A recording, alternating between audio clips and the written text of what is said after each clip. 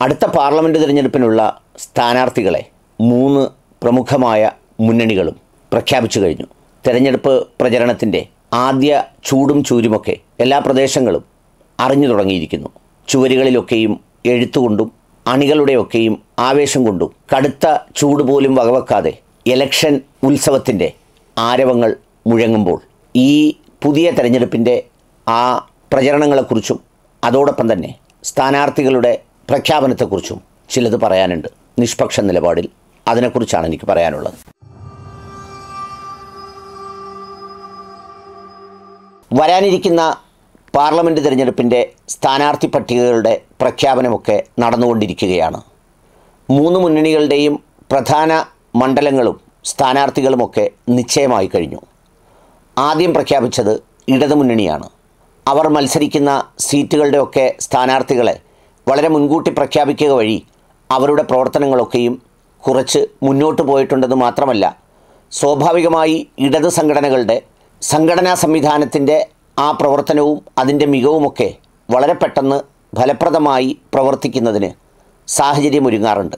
ഇത്തവണ ഇടതുമുന്നണി സ്വീകരിച്ചിരിക്കുന്ന നയം സ്ഥാനാർത്ഥി പ്രഖ്യാപനത്തിലൂടെ നമുക്ക് നോക്കിയാൽ കാണാവുന്നത് വളരെ പരിചിതരായ ദീർഘകാലം മുന്നണിയുമായി ബന്ധപ്പെട്ട് പ്രവർത്തിച്ചിട്ടുള്ള പ്രമുഖരായ സ്ഥാനാർത്ഥികളെയാണ് പലയിടങ്ങളിലും അവർ അണിനിരത്തിയിട്ടുള്ളത്. പന്നിയൻ രവീന്ദ്രനും തിരുവനന്തപുരം ജില്ലാ സെക്രട്ടറി ജോയിയും ധനകാര്യമന്ത്രിയും ദീർഘനാൾ എം എൽ എയുമായിരുന്ന തോമസ് ഐസക്കും ഇളമരം കരീമും വി എസ് സുനിൽകുമാറും ശൈലജ ടീച്ചറും എം വി ജയരാജനും ഒക്കെ അടങ്ങുന്ന വളരെ സീനിയറായിട്ടുള്ള ഒരു നിരയെയാണ് അവർ അവതരിപ്പിച്ചിരിക്കുന്നത്. അതിലൂടെ മനസ്സിലാക്കുന്നത് പ്രമുഖരായ സ്ഥാനാർത്ഥികൾ മണ്ഡലത്തിലേക്ക് എത്തുമ്പോൾ പാർട്ടിക്കും അണികൾക്കും ഉണ്ടാകുന്ന ഒരാവേശത്തെ വോട്ടാക്കി മാറ്റാൻ കഴിയുമോ എന്ന് അന്വേഷിക്കുകയാണ്. അവർ പ്രധാനമായും ഉന്നയിക്കുന്നത് തങ്ങളുടെ മതനിരപേക്ഷ സ്വഭാവവും അല്ലെങ്കിൽ കോൺഗ്രസ് മുന്നണിയിൽ കാണുന്നത് പോലെയുള്ള കൊഴിഞ്ഞുപോക്കോ സംശയത്തിനോ ഇടയില്ലെന്നും തങ്ങൾ എപ്പോഴും മതനിരപേക്ഷതയിൽ ഉറച്ചു നിൽക്കുന്നു എന്നുള്ളതുമാണ്. എന്നാൽ ഭരണവിരുദ്ധ വികാരങ്ങളും അതോടൊപ്പം തന്നെ സിദ്ധാർത്ഥിന്റെ കൊലപാതകം അടക്കമുള്ള വിഷയങ്ങളും മറ്റ് ആരോപണങ്ങളുമൊക്കെയും അവർക്കൊരു പ്രതിസന്ധിയായി മുന്നിലുണ്ട്. എന്ന് മാത്രവുമല്ല ദേശീയ രാഷ്ട്രീയത്തിൽ ബി ജെ പിയും കോൺഗ്രസും തമ്മിൽ ഏറ്റുമുട്ടുമ്പോൾ ന്യൂനപക്ഷ സമൂഹങ്ങൾ എന്തുകൊണ്ട് തങ്ങൾ വോട്ട് ചെയ്യണം എന്നുള്ളതിനെ വ്യാഖ്യാനിച്ച് സ്ഥാപിച്ചെടുക്കുന്നതും ഒരു ശ്രമകരമായ ജോലിയാണ്. കോൺഗ്രസ്സിലാകട്ടെ കഴിഞ്ഞ ദിവസമാണ് സ്ഥാനാർത്ഥി പ്രഖ്യാപനം നടത്തിയത്.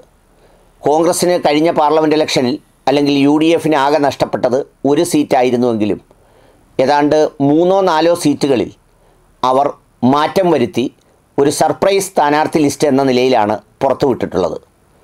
മുൻകാലങ്ങളിൽ മത്സരിച്ചിരുന്ന തിരുവനന്തപുരത്തെ തരൂർ മുതൽ ആറ്റിങ്ങലിൽ അടൂർ പ്രകാശും അതുപോലെ ആന്റോ ആന്റണിയും പ്രേമചന്ദ്രനും അടക്കമുള്ള സ്ഥാനാർത്ഥികളൊക്കെ പട്ടികയിൽ ഇടം നേടിയപ്പോൾ വളരെ സർപ്രൈസായി ഒരു ഇലക്ഷനിൽ മത്സരിക്കാതിരുന്ന കെ സി വേണുഗോപാൽ ആലപ്പുഴയിലേക്ക് തിരിച്ചെത്തിയതും ഷാഫി പറമ്പലിനെ വടകരയിൽ നിയോഗിച്ചതും അവസാന നിമിഷം പത്മജയുടെ പാർട്ടി വിടലുമായി ബന്ധപ്പെട്ട് കരുണാകരൻ കുടുംബം ഒരു ഫോക്കസിലായപ്പോൾ അതിന്റെ സാധ്യതകളിൽ തങ്ങൾ പോരാട്ടത്തിലാണെന്നും അത് കരുത്തരെ തന്നെ ഇറക്കിയാണെന്നും ബോധ്യപ്പെടുത്താൻ ഇന്നത്തെ കോൺഗ്രസ് നേതാക്കളിൽ ജനപ്രിയരിലൊരാളായ കെ മുരളീധരനെ തൃശ്ശൂരിലേക്ക് നിയോഗിച്ചും പിന്നെ രാഹുൽ ഗാന്ധി വയനാട് മത്സരിച്ചുമൊക്കെയാണ് അവരുടെ സ്ഥാനാർത്ഥി പട്ടികകൾ പുറത്തു വന്നത്. ലീഗ് ആകട്ടെ സ്ഥാനാർത്ഥികളെ അങ്ങോട്ടും ഇങ്ങോട്ടും മാറ്റി അംഗം കുറിക്കുന്നു. അവരുടെ മണ്ഡലങ്ങളിൽ കാര്യമായ രാഷ്ട്രീയ മത്സരം ഉണ്ടാവില്ല എന്നാണ് വിലയിരുത്തപ്പെടുന്നത്. ഏതായാലും അങ്ങനെ ഒരു സ്ഥാനാർത്ഥി പട്ടികയാണ് കോൺഗ്രസ് അവതരിപ്പിച്ചത്. കോൺഗ്രസ് നേരിടുന്ന പ്രധാനമായിട്ടുള്ള വെല്ലുവിളികൾ ഒന്ന് ബി ജെ പി അധികാരത്തിലെത്തും എന്ന തരത്തിൽ തന്നെ ചർച്ചകൾ നടക്കുമ്പോൾ കോൺഗ്രസിന് എന്ത് പ്രസക്തിയാണുള്ളതെന്ന മറു ചോദ്യമാണ് രണ്ടാമത്തേത് ആദ്യ തവണ രാഹുൽ ഗാന്ധി കേരളത്തിൽ മത്സരിക്കാൻ വരുന്നു എന്ന് പറയുന്ന ഒരു ആവേശത്തോളം രണ്ടാം തവണ എത്തുമ്പോൾ അത് നിലനിർത്താനോ അതെല്ലാ മണ്ഡലങ്ങളിലും വ്യാപിപ്പിക്കാനോ കഴിയുമോ എന്നുള്ളതുമാണ് മറ്റൊരു പ്രധാന ചോദ്യം. കൂടാതെ പല മണ്ഡലങ്ങളിലും പാർട്ടി സംഘടനാ സംവിധാനങ്ങൾ വളരെ ദുർബലമാണെന്നുള്ളതും അതോടൊപ്പം തന്നെ കെ മകൾ എന്ന നിലയിൽ ആ മേൽവിലാസത്തിന്റെ പ്രസക്തി കൊണ്ട് പാർട്ടി വിട്ടു പോകുന്നതിലൂടെ കോൺഗ്രസ്സുകാരെല്ലാവരും ബി ജെ പിയിലേക്ക് പോകുന്നു എന്നും കോൺഗ്രസ്സിന് വോട്ട് ചെയ്താൽ ബി ജെ പിക്ക് വോട്ട് ചെയ്യുന്നതിന് തുല്യമാണെന്നുമൊക്കെയുള്ള പ്രചരണത്തെ അതിജീവിക്കാൻ കഴിയുക എന്നുള്ളതാണ് അവരുടെ മുന്നിലുള്ള ഏറ്റവും പ്രധാനപ്പെട്ട വെല്ലുവിളി.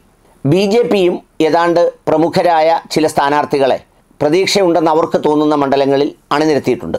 അതിലേറ്റവും പ്രധാനം സുരേഷ് ഗോപിയുടെ തൃശ്ശൂരിലെ സ്ഥാനാർത്ഥിത്വമാണ്. കഴിഞ്ഞ ആറേഴ് വർഷങ്ങളായി അവിടെ പലതരത്തിലും ഇടപെട്ടുകൊണ്ടിരിക്കുന്ന സുരേഷ് ഗോപി കഴിഞ്ഞ പാർലമെന്റ് ഇലക്ഷനിൽ വോട്ട് വിഹിതം ഗണ്യമായി വർദ്ധിപ്പിച്ചത് തങ്ങളുടെ വിജയസാധ്യത വർദ്ധിപ്പിക്കുന്നതാണ് എന്നാണ് ബി ജെ പി പ്രതീക്ഷിക്കുന്നത്. അതുപോലെ തന്നെ രാജീവ് ചന്ദ്രശേഖരനെ പോലെ മേൽവിലാസമുള്ള ഒരാളിനെ തിരുവനന്തപുരത്ത് നിയോഗിച്ചതും ഒരു കടുത്ത മത്സരത്തിന്റെ സൂചനയാണ് നൽകുന്നത്. കൂടാതെ ആറ്റിങ്ങലിൽ വി മുരളീധരൻ അടക്കമുള്ള നേതാക്കൾ എത്തുന്നതും മത്സരത്തിന്റെ ചൂടുകൂട്ടും. എന്നാൽ പത്തനംതിട്ട പോലെയുള്ള മണ്ഡലങ്ങളിൽ ഉള്ള പോലെയുള്ളവരുടെ സ്ഥാനാർത്ഥിത്വം യാതൊരു പ്രസക്തിയുമില്ലാത്തതാണെന്ന തരത്തിൽ വ്യാഖ്യാനിക്കപ്പെടുന്നുമുണ്ട്.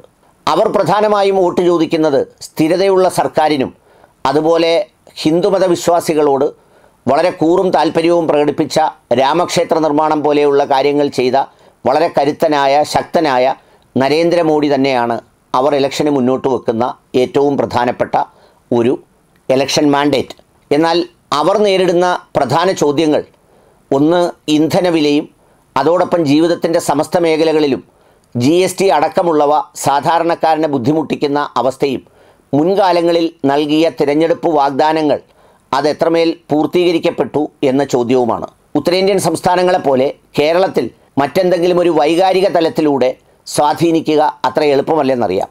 അതുമാത്രവുമല്ല ഏതാണ്ട് പത്ത് നാൽപ്പത് ശതമാനത്തോളം ന്യൂനപക്ഷ സമുദായമുള്ള കേരളത്തിൽ അവർക്ക് കൂടി സ്വീകാര്യമായ ചില സംഗതികളിലേക്ക് എത്തിച്ചേരാതെ ഒറ്റപ്പെട്ട വ്യക്തികളെ മാത്രം അടർത്തിയെടുക്കുന്നതിലൂടെ എങ്ങനെ വിജയിക്കാനാകുമെന്നുള്ളതും അവരുടെ മുന്നിലുള്ള ശ്രമകരമായ ഒരു ദൗത്യമാണ്. പിന്നെ പുതിയ പുതിയ ആളുകൾ എത്തുന്നവർക്കെല്ലാം സ്ഥാനമാനങ്ങൾ ലഭിക്കുന്നുവെന്നും പഴയ ആളുകളെ അവഗണിക്കുന്നു എന്നൊക്കെ പറയുന്ന ചർച്ചകളും ചില കോണുകളിൽ നടക്കുന്നുണ്ട്. കേരളത്തിൽ രണ്ട് മുന്നണികളും ഏതാണ്ട് എല്ലാ ജാതി സമവാക്യങ്ങളെയും ചേർത്ത് പിടിച്ചിരിക്കുന്നതിനാൽ അതിനിടയിലൂടെ ഒരു വിള്ളലുണ്ടാക്കി അകത്തേക്ക് കടക്കുക എന്ന് പറയുന്നത് ഒരു കടുത്ത വെല്ലുവിളിയാണ്. കൂടാതെ അവർക്ക് ലഭിച്ചിട്ടുള്ള ഒറ്റപ്പെട്ട നേതാക്കളായ പി സി ജോർജും അനിൽ ആന്റണിയും അബ്ദുള്ള കുട്ടിയും അതോടൊപ്പം ഒടുവിൽ ലഭിച്ച പത്മജയുമൊക്കെ എത്രത്തോളം ജനങ്ങൾക്കിടയിൽ സ്വീകാര്യരായി വോട്ടായി മാറും എന്നുള്ളതാണ് ഒരു പ്രധാനപ്പെട്ട കാര്യം. കേരളത്തെ സ്വാധീനിക്കുന്നത് പോളിസി മാറ്റേഴ്സ് ആയതുകൊണ്ട് തന്നെ വൈകാരികത എങ്ങനെ ഉപയോഗപ്പെടും എന്നതും ഒരു പ്രധാന ചോദ്യമാണ്. എങ്കിലും മുൻകാലങ്ങളെക്കാൾ നരേന്ദ്രമോദി കൂടുതൽ അവരുടെ വോട്ട് ബാങ്കുകൾക്കും മറ്റുള്ളവർക്കും സ്വീകാര്യനായെന്നും അത് വോട്ട് ആകുമെന്നുമാണ് അവർ പ്രതീക്ഷിക്കപ്പെടുന്നത്. ന്യൂനപക്ഷ സമുദായമായ ക്രൈസ്തവ സമുദായം ഒരു അനുഭാവപൂർണമായ നിലപാട് സ്വീകരിച്ചു വന്നിരുന്നുവെങ്കിലും മണിപ്പൂർ സംഭവവും ഉത്തരേന്ത്യയിലെ സംഭവങ്ങളുമൊക്കെ അവർ പ്രകടമായി ചില അനുകൂല സാഹചര്യങ്ങളുടെ പ്രസ്താവനകളുമായി നിൽക്കുന്നെങ്കിലും അണികൾക്കതത്രമേൽ സ്വീകാര്യമാണെന്നുള്ളതും മറ്റൊരു വിഷയമാണ്. ഏതായാലും അങ്ങനെ മൂന്ന് മുന്നണികളും അവരുടെ തിരഞ്ഞെടുപ്പ് സ്ഥാനാർത്ഥി പട്ടികകൾ ഏതാണ്ട് എല്ലാ തരത്തിലുമൊക്കെ പൂർത്തിയായി കഴിഞ്ഞു. ഇനി ബി ഡി ജെ എസ് അടക്കമുള്ള ഘടകകക്ഷികൾക്കുള്ള സ്ഥാനാർത്ഥി പ്രഖ്യാപനമാണ് ബാക്കിയായുള്ളത്. ഈ ആദ്യ ട്രെൻഡുകളൊക്കെയും വരും ദിവസങ്ങളിലെ പ്രചരണത്തിലൂടെ എങ്ങനെ മുന്നോട്ട് പോകുന്നു എന്നുള്ളതാണ് അതിന്റെ ഒരു സ്ഥിതിവിശേഷം. ഇപ്പോൾ കേരളത്തിലും എല്ലായിടത്തും ഓരോ വിവാദങ്ങൾക്കും ഓരോ വാർത്തകൾക്കും നാൽപ്പത്തിയെട്ട് മണിക്കൂറിനപ്പുറത്തേക്ക് പ്രസക്തി ഇല്ലാതാവുന്നു എന്ന് പറയുന്ന ഒരു പ്രത്യേകതയും ഇവിടെയുണ്ട്. അതുകൊണ്ട് അതിന്റെ പ്രഖ്യാപനം പോലും ആകുന്നതിന് മുമ്പുണ്ടാകുന്ന തെരഞ്ഞെടുപ്പ് പ്രചരണ വിഷയങ്ങളാണോ വരും ദിവസങ്ങളിൽ ഉണ്ടാവുക എന്നുള്ളത് കാത്തിരുന്ന് കാണേണ്ടതാണ്.